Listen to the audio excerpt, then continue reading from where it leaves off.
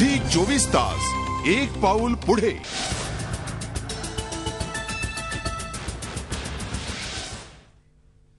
स्वागत बातमीपत्रामध्ये. अकोला जिल्हा परिषदेच्या सर्वसाधारण सभेमध्ये शिवसेना आणि अपक्षांनी तोडफोड केली.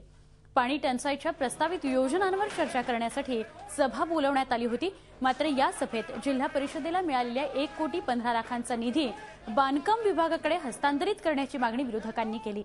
मात्र सत्ताधाऱ्यांनी ही मागणी फेटाळल्यावर विरोधकांनी सभागृहामध्ये गदारोळ केला आणि खुर्च्यांची फेकाफेक आणि माईकची तोडफोड केली आणि सभागृहाच्या दरवाजाचीही तोडफोड केली.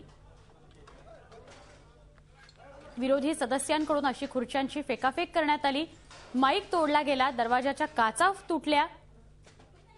असा सगळा गोंधळ अकोला जिल्हा परिषदेमध्ये झाला. एक प्रकारे राडाच करण्यात आला. झी चोवीस तास. एक पाऊल पुढे.